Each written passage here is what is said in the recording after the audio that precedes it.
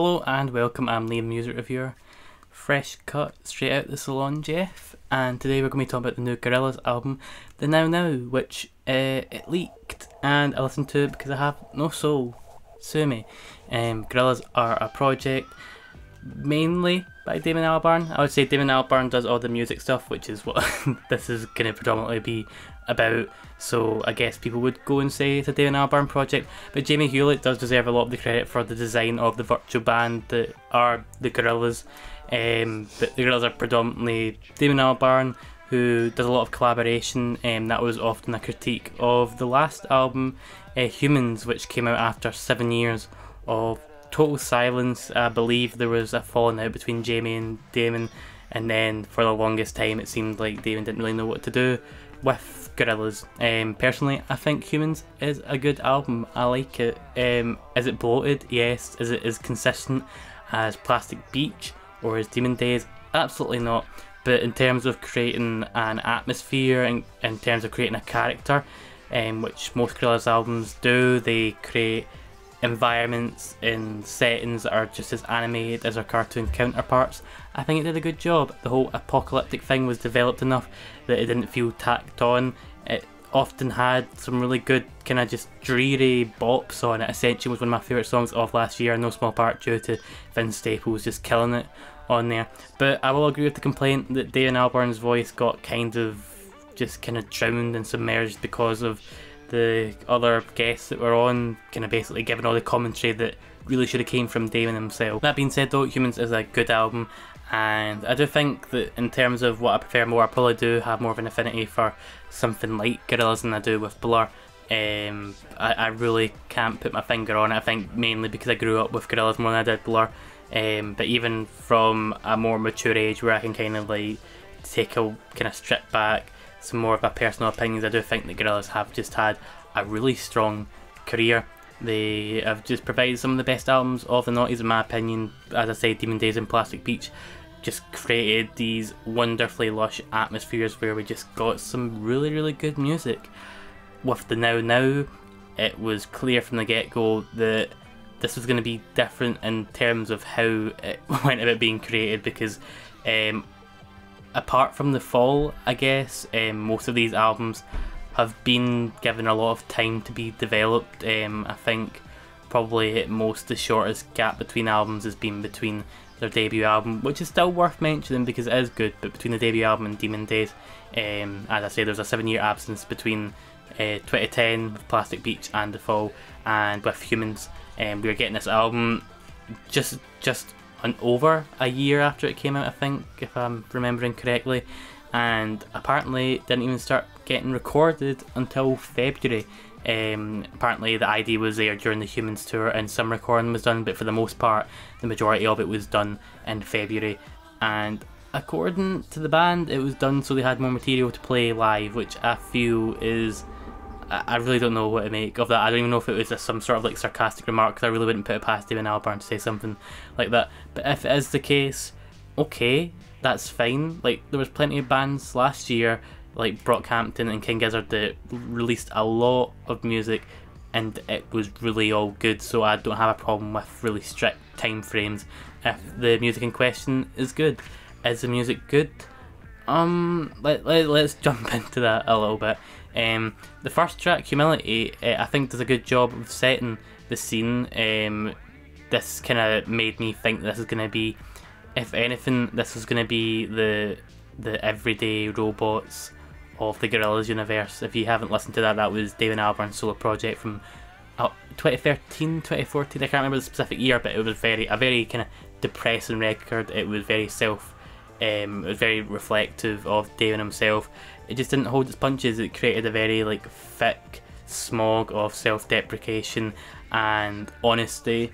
It was just a, a really confessional record, and it feels like, unlike other Gorillaz records, it's gonna try and point the camera more at Damon himself.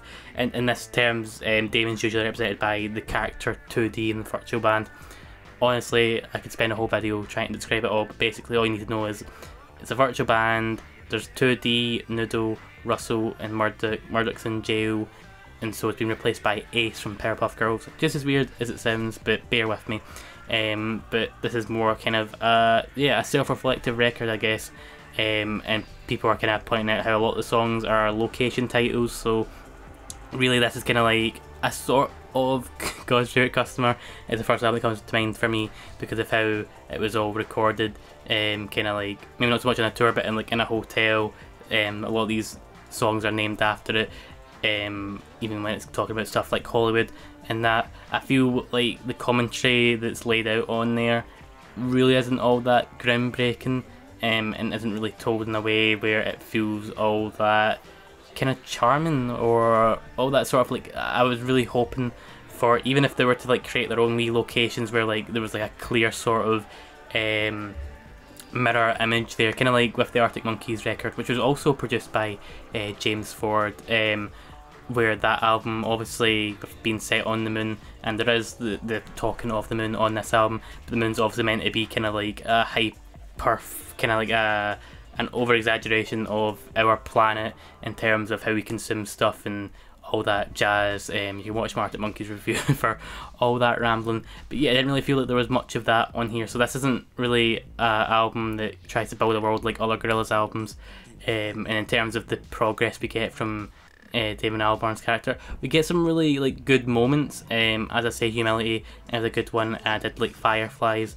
Um, but really uh, there's not really a lot of good songs on this record and as a cohesive project I didn't really feel like there was that kind of rich atmosphere that you get in every other Gorillaz album. People will say that well maybe it's meant to be more reserved project, not as ambitious in that but I feel then really is it a Gorillaz album? Like I feel like Gorillaz are usually the strongest when they're trying to be ambitious and make these kind of big projects. Even if you dislike Humanz, you can't deny that they were trying to do something just new for them. Like it didn't feel like a retread. This here doesn't feel all that fresh, even from a sense of just Damon Albarn's career in general. I wouldn't be hyperbolic and say that it's a bad record by any means. And as I say, there are some good songs on here like Fireflies um, and like Humility um, Tranz as well, which is a good one. There's no, there's not the highs that Humanz had. Like even if you didn't like Humanz, you can admit that Ascension or Saturnz Barz or Andromeda are good songs. I even like Moments. People don't like that because of the auto tune, but I think it's a good kind of a, apocalyptic tune.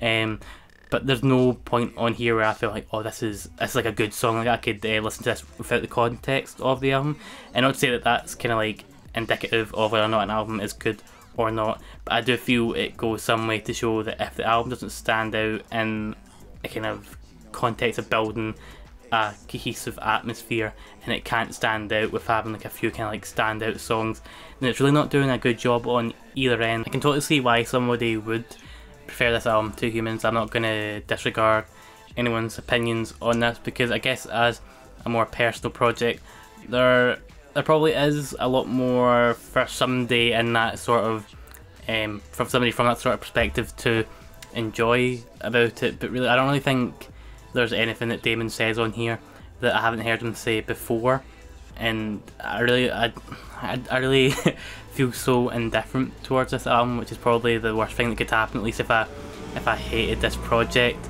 I would have some sort of like strong reaction to it. But I just feel total indifference towards it now. Now.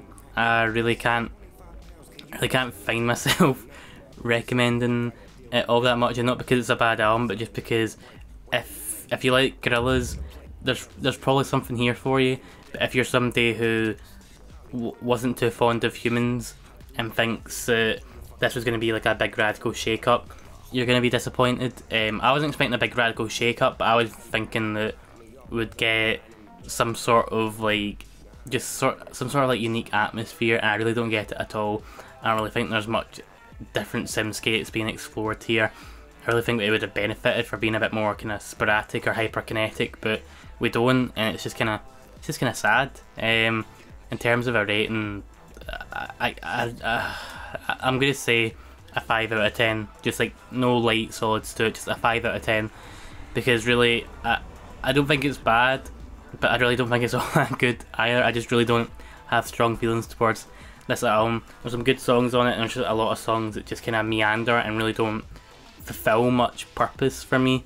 Um, but yeah, I, I, probably will get a bit of slack for this sort of opinion, but that's the job. Um, but yeah, if you guys think differently, if you've already listened to the leak, or if you're watching this review after it's actually came out, let me know what you guys think. Um, that's really all I've got to say about the now now. Um, stay safe and stay hydrated. I'll see you guys very soon.